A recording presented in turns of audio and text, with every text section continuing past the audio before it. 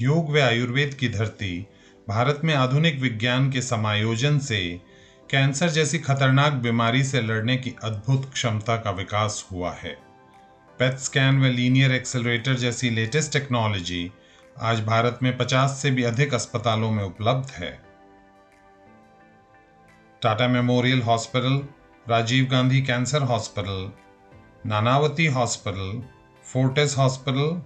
Medanta और Paras hospital जैसे संस्थानों में विश्वविख्यात doctors,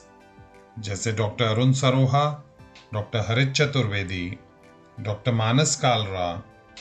doctor Vinod Raina, doctor Rama Joshi, doctor Rana Pater, doctor Vikas Dua, doctor Rahul Bhargava, doctor Suresh Advani और doctor J S Virk जैसे doctors ने cancer के इलाज में भारत को दुनिया के अग्रणी देशों की श्रेणी में लाकर खड़ा कर दिया है।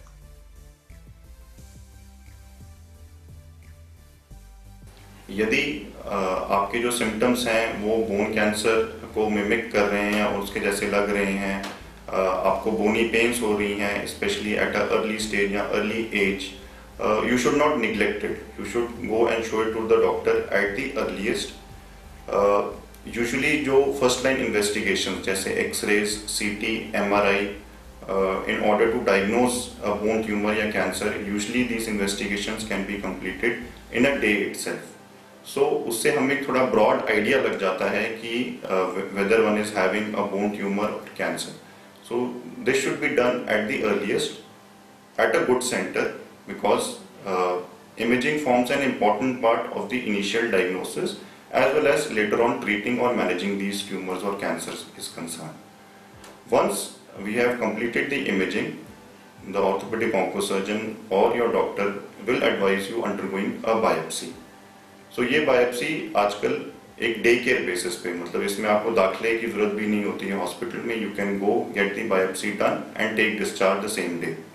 and usually the report of a biopsy should come within three to five days at all good cancer centres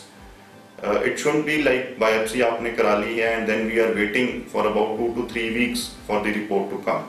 because if one has bone cancer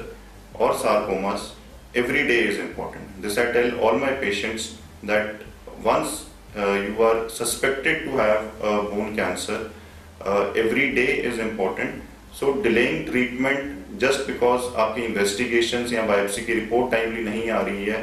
uh, shouldn't be the uh, situation and one should try uh, getting it done from a proper center so that the reports are available to us timely and a timely treatment can be started. This is important because यदि हम treatment एक early stage पे शुरू कर लें so patients can have a good survival they can have a prognosis of almost 70 to 80 percent But यही अगर हम बात करें कि पेशेंट्स को हमने एक लेट स्टेज पर डायग्नोज किया है, जब वो कैंसर ऑलरेडी फैल चुका है शरीर में